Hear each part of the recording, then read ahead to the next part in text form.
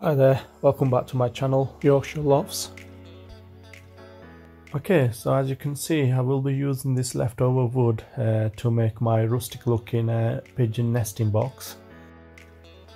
As you probably already recognized if you watched my previous videos, I'm still using these uh, these lats where I have uh, cut out from 6x6 uh, uh, fence panel.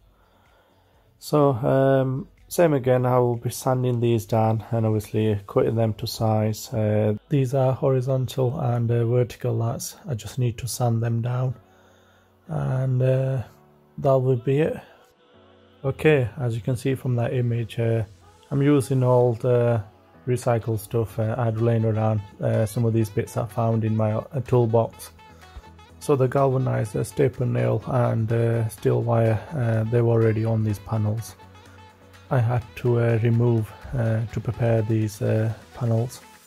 And the wire mesh you can see that's uh, left over from my aviary build so I would say 90% probably more uh, is uh, all recycled material. Even the plyboard underneath I will be using that for the rear section of the box. Again that's why I'd around so I haven't gone anywhere to buy any of these materials.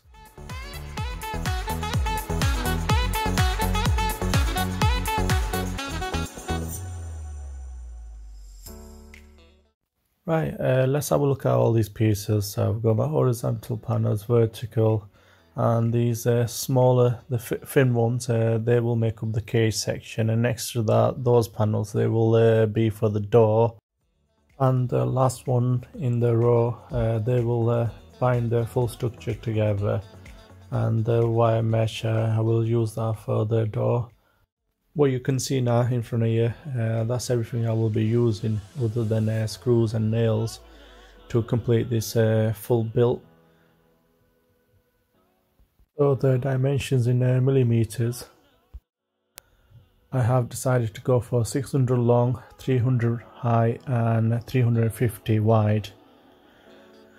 So yeah, so you can see now, uh, put the basic uh, box structure together and ready for rear and uh, the front section to complete. From this footage uh, you can see I have made the door and the case section and uh, the rear section I have cut that out of uh, plyboard uh, I showed earlier. So okay, it's pretty much done. I need to get a wire mesh on this door.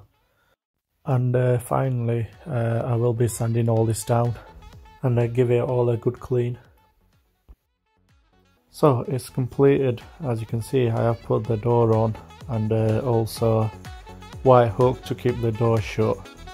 And uh, yeah, looks looks well. Um, pretty, pretty happy with how, it, how it, this turned out and uh, I will be putting in a loft uh, in the morning. Thank you for watching, please subscribe if you haven't already. I will catch you on the next video.